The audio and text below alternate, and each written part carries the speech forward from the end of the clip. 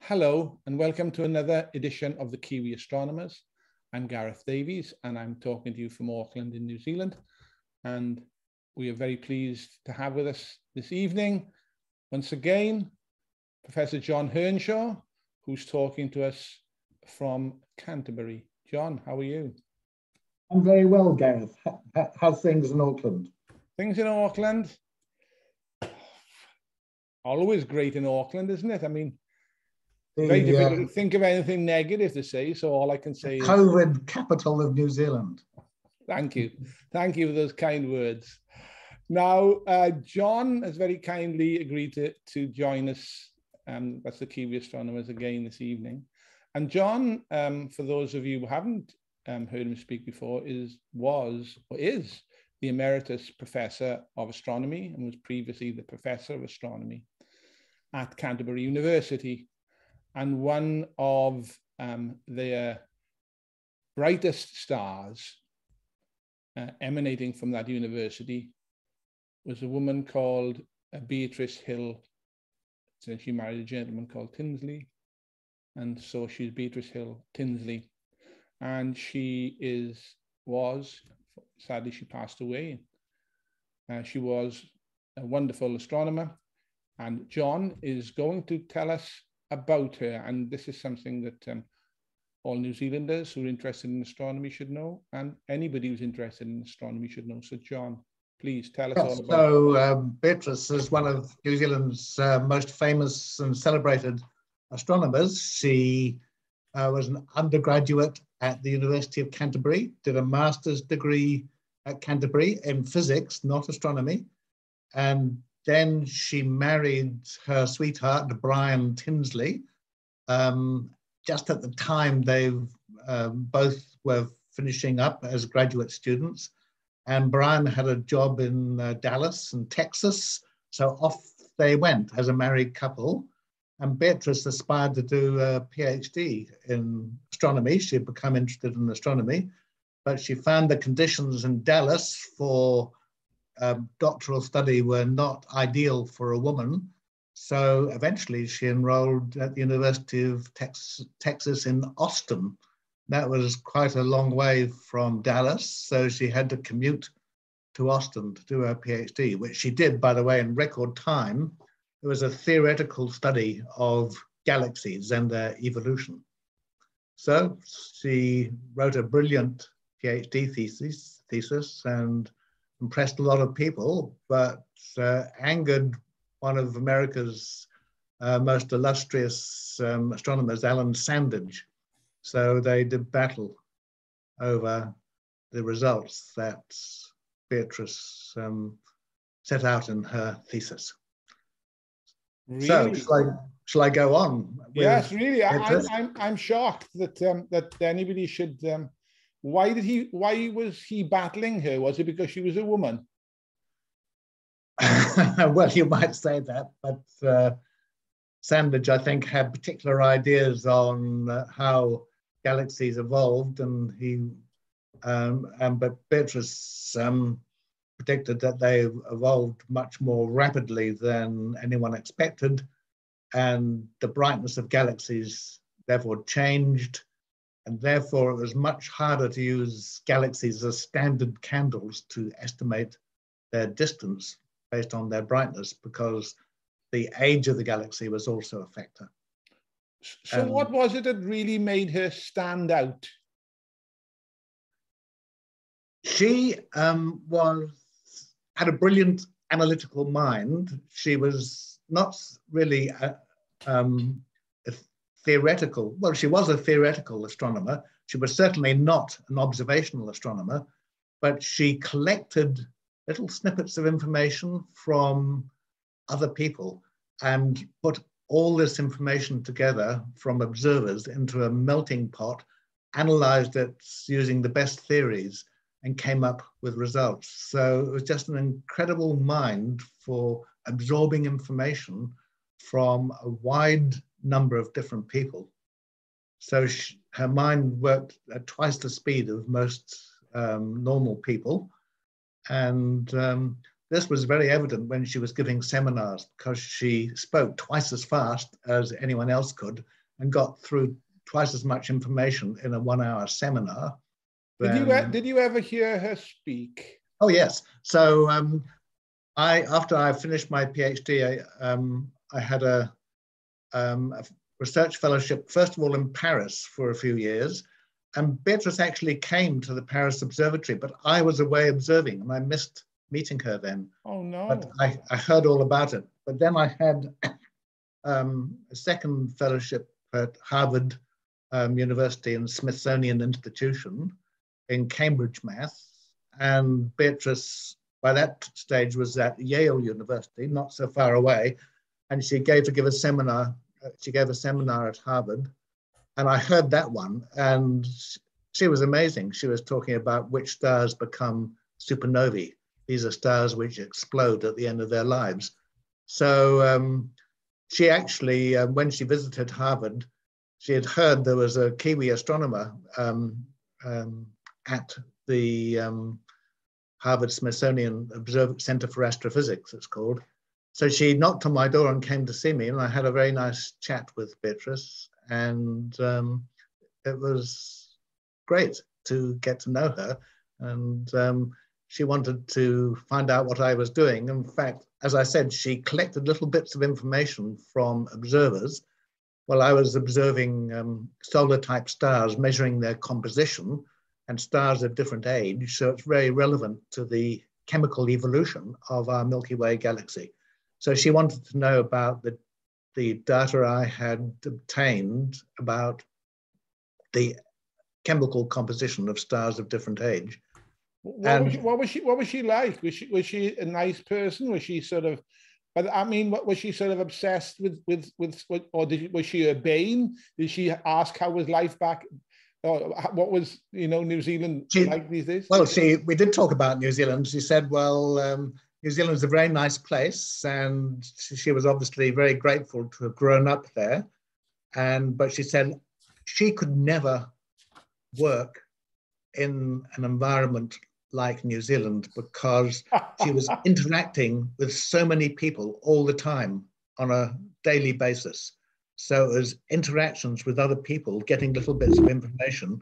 And of course, New Zealand, a country with the most 12 astronomers, and, and the United States with probably about 6,000, you can see that the environment here would not suit Beatrice, would not have suited her at all. Oh, oh dear, that's maybe if she'd come to Auckland, she'd have felt differently, but there you go. anyway, she she uh, chose to be in the United States simply because she interacted with a lot of astronomers, but she had a very tough time. Um, she was, I think, treated quite badly as a woman, and female astronomers were not widely accepted anywhere. Uh, this was um, in the, um, she did her PhD in, um, oh, in the 60s. So I, I was at Harvard in the mid 70s. So by that stage, she become, in her 30s, a, a full professor at Yale University. Wow. So um, she was uh, extremely interesting to talk to, um, very engaging, very warm hearted. Oh, and yeah, fantastic person. Yeah. So, um, I enjoy, enjoyed very much uh, meeting Beatrice, but very sadly, um, she died very soon after that encounter. Um, she died in 1981 at the age of 40 from melanoma. Yes, I saw a play um, about her called Bright Star. I saw that play too. In fact, I went to Circa in Wellington and saw that play. I've just forgotten who the playwright was, but um, the people at Circa asked me to give a little talk after the play, after the opening night. Wow, um, that's great. About Beatrice. Simply, I think probably um, Beatrice's sister Theodora was in the audience, so perhaps that was the link. So I did that, and just a sort of ten minutes um, talk, more or less along the lines of our talk here now.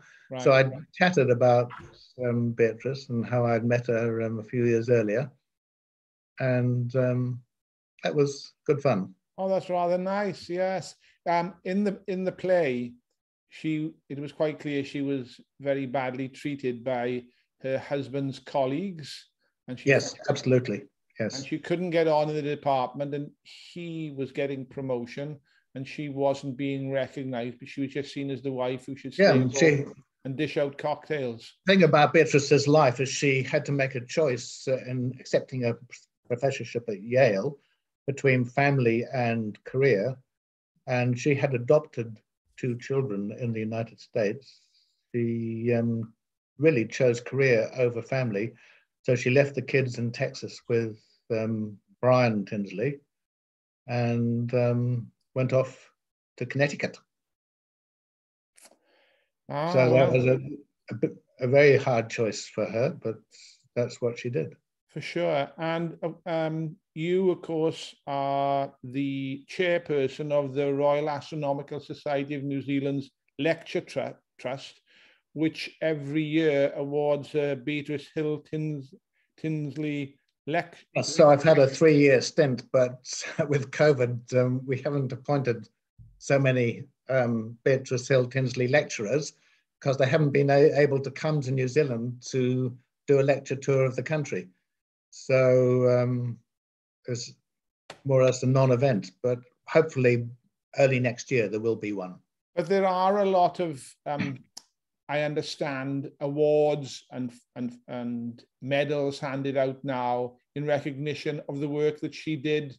Oh yes, so Beatrice certainly has been, I think, well recognised. In fact, the University of Canterbury has the Tinsley Building, which opened in a couple of years ago, there is a mountain in Fiordland named uh, Mount Tinsley.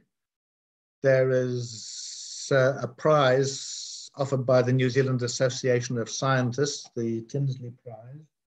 And there is an asteroid named Tinsley. Um, what else? Um, that's it. And there's a very good um, biography about Beatrice. John, also called Bright Star. If you were to put into one sentence, so I'll let you have two, what it was that she is best known for in one or two sentences, could you tell us? Well, the area of her research was galaxy evolution. Her reputation is based on an incredible inquiring mind which encompassed a very large number of sources about um, galaxies. So she could absorb information and put it all together into an amazing synthesis in a way very, very few people have been able to do. So it was just intellectual curiosity. So there you go. Quite outstanding. There you go, everyone. That's Beatrice Hill Tinsley. And a, nice segue now to the next topic that I wanted to talk to John about. Um, John, um, as we said, is the chair of RASNZ's Lecture Trust with the Beatrice, Beatrice Hill Tinsley lectureship, lectureship. And they brought out a number of years ago um, an, uh, another astronomer from the US called Natalie Batalha. And as it happens, I was listening to um, a, a, podcast the other day uh, with Neil deGrasse Tyson, uh, uh, in which she was interviewed. And Natalia actually has a role with the James Webb Space Telescope. And that's the segue because what I wanted to do with the James Webb Telescope going up very soon, I wanted to get John's hopes and aspirations for that telescope. John. A lot of people are saying that the James Webb Space Telescope is the successor of Hubble. Hubble, by the way, is still working, but right at the end of its life. It's been up there um, 30 years now. So um, the James Webb Space Telescope is much bigger than Hubble, much more expensive than Hubble, and some people say it's the most complicated and expensive uh, astronomy space project ever conceived. I'm sure that's probably right. So it's going to be launched in a few days, actually on Christmas Eve. In, um, in the United States, actually, it's going to be launched from French Guiana, from the um, European spaceport there. And when it's launched will be actually Christmas Day for New Zealanders, about one o'clock in the morning on Christmas Day. And what are your hopes for that telescope? What do you think? There's so many things said about it. What do you think it'll bring?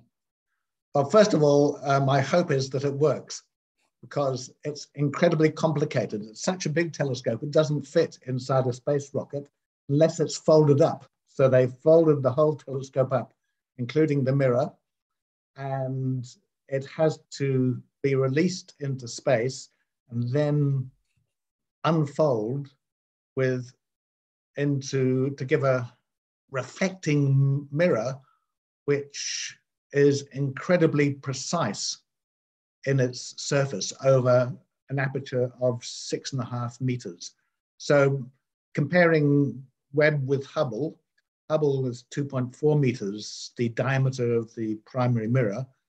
The Webb Space Telescope has uh, um, a composite mirror with hexagons, 18 hexagons, but overall it's six and a half meters in diameter. So the first hope is that that mirror can unfold itself and um, the telescope can work. And that it's so complicated. I don't think it's anything as certain, but it costs 10 billion US dollars, so better work. As for the science it's going to do, I think there are, I'm told, there are two main projects. One is looking at the very earliest stars which form um, soon after the Big Bang. So, looking at great distances in space and therefore back a great deal of time to eras shortly after the Big Bang, sort of thir um, 13 and a half um, billion years ago. So, uh, seeing how the universe started, how the first stars and first galaxies formed in that um, very early era of cosmic evolution. That's the first thing. And it's look, looking in the infrared because the ultraviolet radiation from those first stars has been greatly stretched by the expansion of the universe, the expansion of space time. So the radiation which left those stars as short wavelength ultraviolet radiation is now in the mid infrared. So, so that's where the Webb Space Telescope, the James Webb, will be looking. That's one major project. So it's understanding cosmology better from the data they get. The other one is looking at extrasolar planets, or usually called exoplanets these days. And a big question for exoplanets is are the planets which um, might harbor life, which are in principle habitable, the right temperature? And is there any chance of detecting life on other planets? Well, if planets have an atmosphere, and if if there is a biosignature in the atmosphere, um, and well, the sort of gases in the atmosphere which are conducive to supporting life, then there's a possibility that James Webb Telescope can detect using spectroscopy these um, the chemical composition of planetary exoplanet atmospheres. And it will do that by if a, a planet transits in front of its parent star, the planet itself is giving a negligible amount of light, but the stellar radiation from the star can pass through the atmosphere on its way to the Earth, and therefore some of that light will be absorbed by molecules in the planetary atmosphere. And that's wow. how, but of course, only a very tiny fraction of the starlight will be so absorbed. So these absorption signatures are incredibly faint. People have tried doing this technique, but we know it's incredibly difficult because the absorption features are extremely weak. So you need uh, to collect a lot of light and get very good quality spectra. So James Webb hopefully can do this. And if it's successful, we might find out which of the thousands of exoplanets we now know exist, thanks in part from the Kepler Space Telescope, which has now finished its work. And um, using the data from Kepler, looking at those um, stars we know have planets and observing them again with the Webb telescope, we might be able to prove that some of these planets are possible places where life might exist. So I think oh. that's the other major project for the James Webb is exoplanets.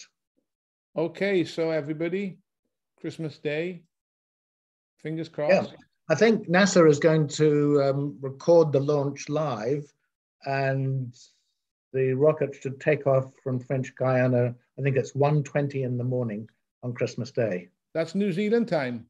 New Zealand time, yes. Wow, 1.20 a.m. Christmas morning. But of course, you, you don't really want to ruin your Christmas day by getting up after midnight to watch the launch, do you? Oh, I shall. I think I, I definitely it, shall. It'll be on the news um, later on on Christmas Day. I might not get up to watch the All Blacks, but I'll certainly get up to watch the James Webb. Is that right? Are the All Blacks? They what? All Blacks aren't playing on Christmas Day, are they? no, no, they are. Hey, thanks, John, on that one. We're all going to watch with bated breath. Um, and there's another nice segue out of this. So as we come from um, Beatrice Hill through Natalie Batalha, uh, I want to talk to you about somebody else that you met. Um, somebody who also had a brilliant PhD thesis. Somebody else who was a woman. Somebody else who was a professor at a prestigious university on the East Coast of the United States of America. And that, of course, would be John I think you must be talking about Cecilia Payne-Gaposchkin. Absolutely right. Yes. You've got a uh, fascination, Gareth, with female astronomers, have you? well, I'm I'm married to one. yes, so you are. What a silly question. yeah, I did beat, uh, as I mentioned, I, I did a postdoctoral research fellowship at Harvard Smithsonian in the mid 70s. And Cecilia Payne-Gaposchkin was at the end of her career at that stage. She was in her mid 70s, so she was the age I am now, um, some, what, 50 years, not quite 50 years ago. So uh, she had a towering reputation. Cecilia was born in England and she studied at Cambridge and perhaps a bit like uh, Beatrice Tinsley, um, she wasn't treated very well as a woman at Cambridge. In fact, in the 1920s in Cambridge, women could not receive their degrees. They could go to the lectures and they can take the exams, but they were not allowed to receive a degree. it seems fairly disgraceful. And um, fairly disgraceful, you think? yes, my, my aunt also uh, she studied at Cambridge and couldn't receive her degree either. Wow. So, but um, in the case of my aunt, she went to Dublin and they gave her a d- degree based on her Cambridge exam results. Oh. Trinity College Dublin. Trinity College Dublin. I I went there once when I went to watch Wales yes. play rugby. Yeah. Anyway, so uh, Cecilia Payne, uh, didn't get her degree, but she went to Harvard, and the director of Harvard College Observatory, very famous astronomer called Harlow Shapley, he um, welcomed Cecilia and said, "Well, you can do a PhD here," even though she didn't have a, a bachelor's or master's. So Cecilia um, did um, a degree, and she was got the first PhD in astronomy at Harvard, in fact. And Not the first for a woman, but the first for anyone. hers was a much lauded uh, PhD thesis. Well, some people wrote this is the most brilliant PhD ever written in astronomy, um, and it was published as a book. Um, and Cecilia published that in 1925, a book on stellar atmospheres. And the main result, the Harvard was doing a huge program on recording low resolution spectra of hundreds of thousands of stars in our Milky Way galaxy, of bright, the brighter stars, and classifying the spectra. But these uh, spectra, though not of very good quality, they uh, were enough to enable Cecilia to measure the strengths of the absorption lines caused by the different chemical elements in the outer layers of these stars. And by analyzing the strengths of those lines, you can estimate roughly the chemical composition of the stars. And Cecilia, in her thesis, came to the conclusion that essentially stars are made of hydrogen and helium, the two lightest elements, but practically nothing else. And the so called expert on the composition of stars at that time was Henry Norris Russell, probably America's most famous astronomer in the 1920s, or in fact, the first half of the 20th century. And Russell poo pooed this. Stars um, aren't made of essentially uh, um, hydrogen and helium and nothing else. Um, but Cecilia said um, all the other elements which she had observed were a tiny, tiny, just a, um, a few percent of the, all combined, just a few percent of the total mass of any star. Russell said this is wrong, and Russell, who um, assessed uh, the thesis, uh, said, well, if you're going to publish this, um, my dear girl, you must say, I believe your results are spurious, and just say, I probably made a mistake. then that was 1925. By 1929, Russell published a very well-known paper on the composition of the sun, where he came to the same conclusion four years later and um, he mentioned in passing, oh, by the way, Cecilia Payne came to a similar result a few years ago. Just a very brief mention. Really? So he retracted his criticism of Cecilia, and Cecilia was so disappointed with how Henry Norris Russell had treated her that she essentially um, she went on working at Harvard College Observatory, but changed field entirely. And she worked first of all on the structure of the Milky Way, and then on variable stars. So for the next uh, 50 years, she worked mainly on variable stars and became one of the world's great authorities. Variable stars, of course, are those which change their brightness over time for a variety of different reasons. So there are not, whole... Not for the first time, my goodness. Not for the first time, John. A, a tutor uh, steals the, the idea from a very clever woman and at, at a slightly later date puts it up as his own. Yes. That's Jocelyn, exactly right. Jocelyn Bell Burnell comes to mind. Yes, so a lot of very distinguished female astronomers have been um, downtrodden by men who probably have regretted their um, attacks on the women. Alan Sandage against Beatrice Tinsley, Henry Norris Russell against um, Cecilia Payne, or as she later became known, Celia Payne Gaposchkin, because she married a, a, Russian astronomer, Sergei Gaposchkin, in the early 30s. And um, what was the other one you just mentioned? No, I, what I was going to say was that you actually you met her, didn't you?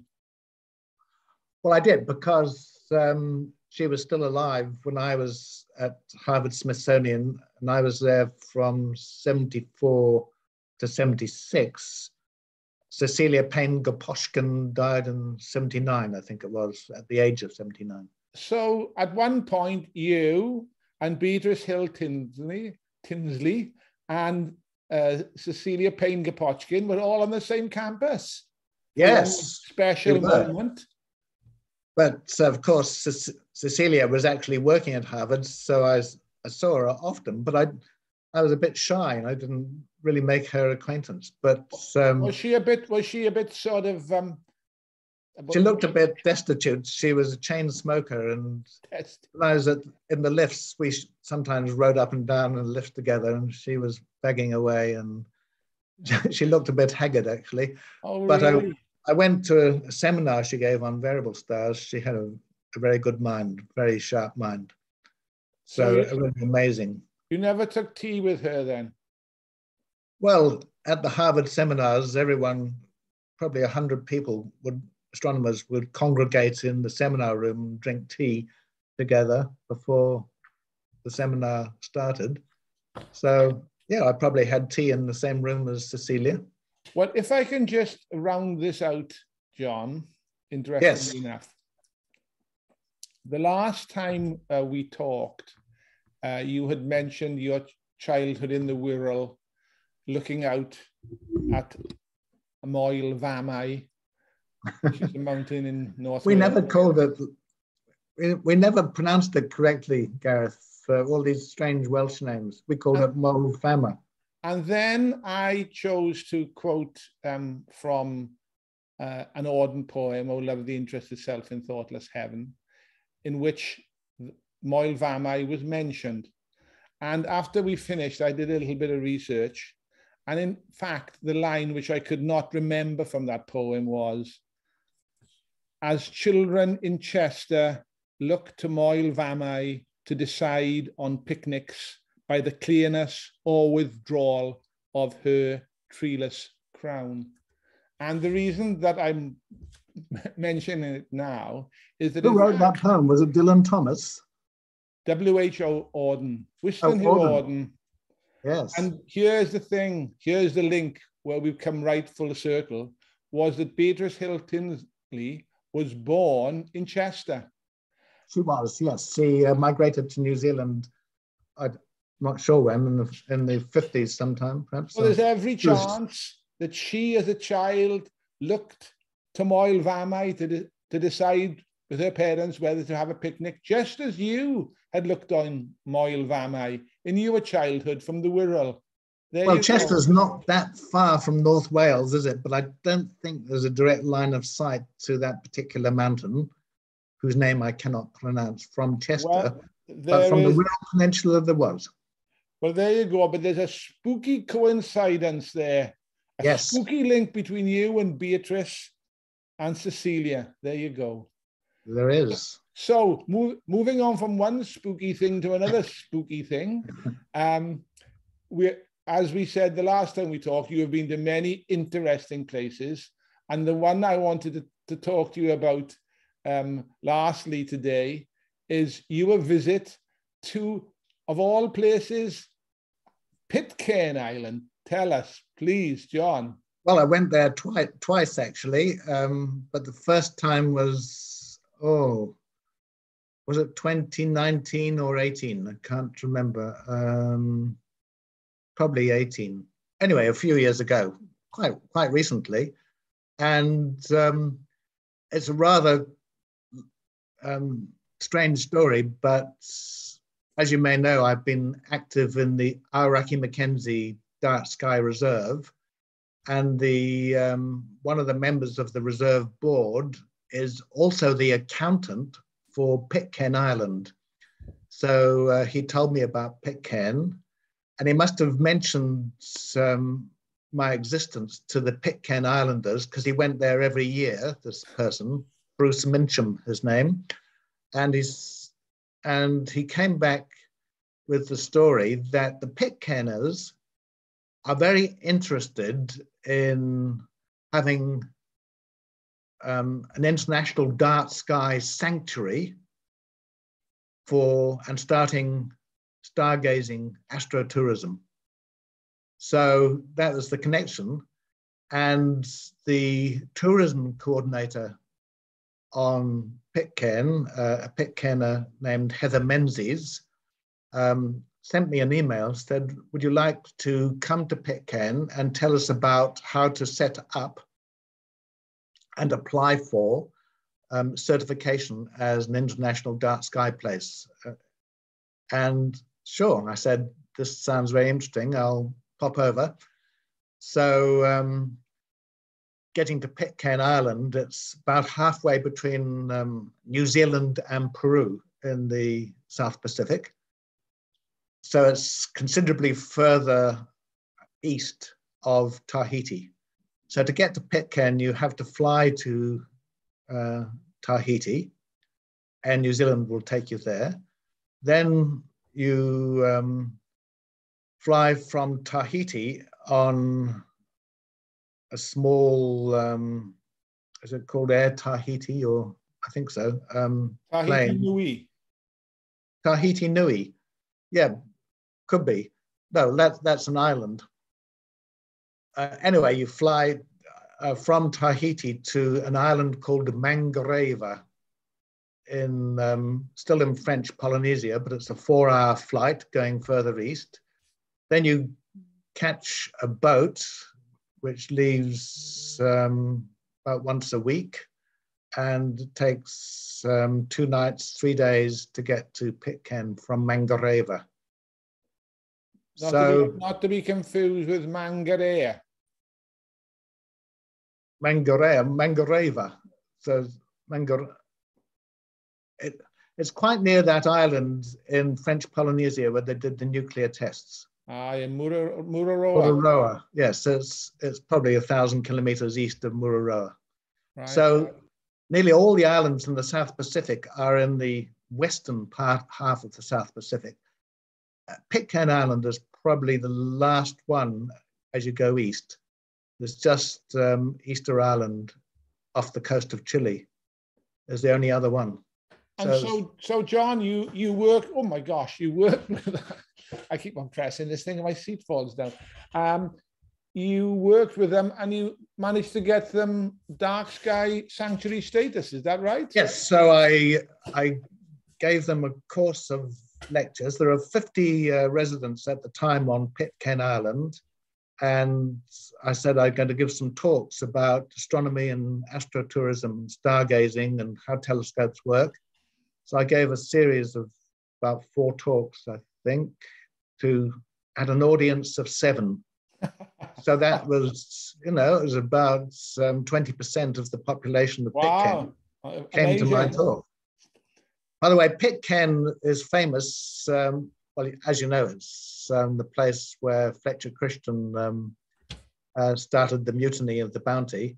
But it's also famous because in 1838, I think, it's the first place in the world that gave women the vote. Wow. Did you know that? So everyone I did Zealand not know says New that. Zealand was first. I But- know a lot of things, but not that. Yeah. So um, men and women on Pitcairn uh, have an equal vote, and they vote in the mayor. Wow. The the mayor of Pitcairn. Yes. Wow. And so tell us what was what was the food like there? The food on Pitcairn is amazing because though it's not in the tropics, it's very close to the tropics. So it's it's a, essentially a tropical paradise. Everything just grows. The fruit is just abundant. Wow. Um, what about the dark skies? What were they like? pretty good. And I had 11 days. This is February 2018. I remember now. So it was three years ago. Uh, oh, almost four now. Yeah. So um, we had several very good nights. And so we took a small telescope and binoculars up to the top of Pitcairn. And um, probably we had seven or eight people doing stargazing over a couple of nights. It was fabulous. And we measured the how dark or bright the sky was, and it was incredibly dark. Um, so as, as dark as the best nights at Tekapo in New Zealand. Wow. So But there are only there are only three street, three or four street lights, and uh, Pitcairn is on a grid system powered by a diesel generator, that generator is turned off at 10 p.m. and switched on again at 6 a.m. every day. So there's absolutely no electricity or no light except for candles on Pitcairn, candles or torches, between 10, a, 10 p.m. and 6 a.m. So you can see that it is going to be very, very dark. And the nearest habitation to Pitcairn would be, um, well, there are a thousand people, people on Mangareva, which is thousand kilometers away. And there are several thousand in Papeete and Tahiti. So it's one of the remotest places in the whole world, furthest from any center of population. So it's people that cause light pollution and skies to be bright. On Pitcairn, there are so few people and no, essentially no lights. So yeah, fabulously there, done. There you go. So everybody listening in, if you like the night sky and you like tropical fruit and uh, you like to go to a place that was the first to give women the vote, then Pitcairn is the place to go. Absolutely. It's such a fascinating place. And the, to, when you go to Pitcairn, you, you have to stay with families. There are no hotels. Oh. Um, there is a prison there, but Oh. it's probably the best building on Pitcairn is the prison. Very comfortable. To last. But I stayed with a family and I had such a great time. Okay, well, thank you, John. Thanks for um, recounting your time on Pitcairn and your your um, your meetings with those famous women astronomers. I should Um, mention that they did apply to the International Dark Sky Association to be an accredited dark sky place. They became a dark sky sanctuary in, I think it was March 2019. And I went back for a solar eclipse um, in the middle of 2019. It was raining, by the way, for the eclipse, but they had just received the accreditation from IDA, the International Dark Sky Association. So now they are a dark sky sanctuary, all ready to do astrotourism, but they haven't had any astrotourists because of COVID. So it's all been a bit of a damp squid. There you there you go, everyone. You can see that John is a big fan. So take take his um, commendation for what it is, and when COVID comes to an end, get on that Tahiti Nui flight to Papeete, and then the the next one to Ma- Mangere. uh, Mangareva, Mangareva. Mangareva is where is Auckland Airport. That's right. So so take that flight and then the boat, and it'll be a welcome waiting for you in in Pit- Adamstown. Is it? Adamstown is the capital of Pitcairn. As I say, everyone on Pitcairn lives in Ad- Adamstown. Population of Adamstown is probably about down to 45 now. I, thought they might have named it Evestown once they gave women the vote, but there you go.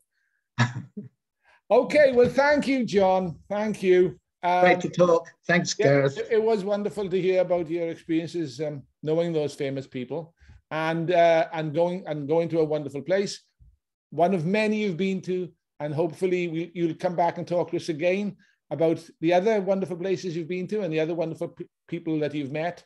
Uh, we look to. forward to talking to you again very soon. Right. Bye, Gareth. Take care. Bye bye. Bye bye.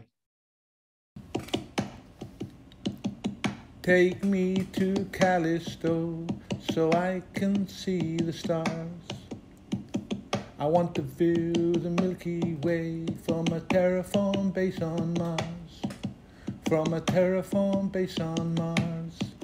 From a terraform base on Mars.